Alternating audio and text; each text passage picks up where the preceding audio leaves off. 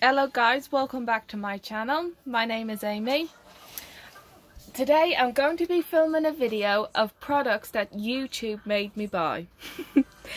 to be honest, YouTube is to blame for half of my makeup purchases. I, I live on YouTube. And when I'm going to buy a product, I always look on YouTube for recommendations of good products. Is it good? Is it bad? You know, all that stuff. And by the way, I'm wearing my PJs because I'm not going anywhere, Madelle, even though I got a full face of makeup on.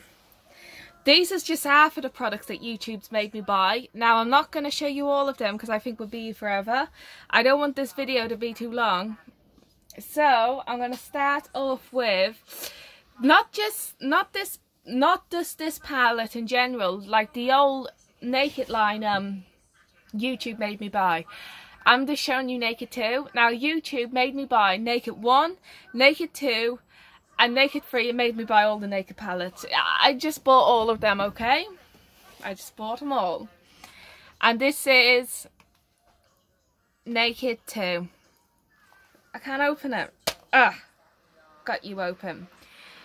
I don't know, it's just um a cool tone palette. To be honest, the thing I don't like about these naked these um these um, Urban Decay Naked palettes that much is that they don't have enough mattes. This palette only has, I only got a matte black, a matte brown, like a purpley brown and a matte cream. And I prefer a palette with a good range of mattes and shimmers to make eye look. So I find myself dipping sometimes for other palettes. I don't use this that much, but I like it more now than when I first bought it. I don't use Naked One at all. I know it's a favourite of some people, but I just don't like it. Now, the next palette YouTube made me buy is the Anastasia Beverly Hills Modern Renaissance palette. YouTube made me buy this product. I know it was a long time ago this was big on YouTube, but it just made me buy it. I couldn't help it. I, I'm a makeup junkie. Can't help it.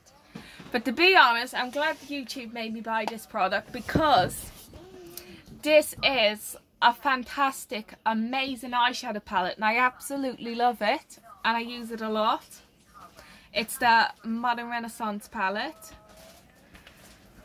I'm glad I'm glad YouTube made made me buy it, so thank you YouTube for making me buy this. And another eyeshadow palette that YouTube made me buy and I think it's a really really really good palette too. It's the um it's the first um Jaclyn Hill Morphe palette. To be honest this is a really good palette and I think it's got everything you need in it everything. So I'm really glad YouTube made me buy this palette but YouTube did make me buy this palette too. And I gotta be honest Jaclyn did a really good job on this eyeshadow palette this is a highlighter, what everybody used to talk about. YouTube also did make me buy the Becca highlighters too. But this is the Balms Mary-Lou Manizer. I know I'm blinding you with the mirror. Um, I do like, uh, to be honest, I like half of these things that YouTube made me buy. Like, I just don't reach for this that often, that's all. But this is the Balms Mary-Lou Manizer and this is a really good highlighter, really blinding. It's a nice um, champagne champagne colour and I um actually I um use this a lot, I really like it. So YouTube made me buy that. And some more things YouTube made me buy and YouTube made me buy the Anastasia Beverly Hills Dip Brow Pomade. Well, um, I use this um, pomade a lot and it's also what I got on my eyebrows today. And um, I really like this eyebrow pomade, it's one of my favourites. But YouTube did make me buy it. So yes, YouTube made me buy that. And another this is a favourite too youtube also made me buy this but i'm so thankful youtube made me buy it because this is my all-time favourite eye base this is the mac painterly paint pot and to be honest this is love for a reason because this blurs out all the veins on your eyes and just makes blending easier for your eyeshadows. So YouTube did make me buy that, but I'm also thankful. Okay.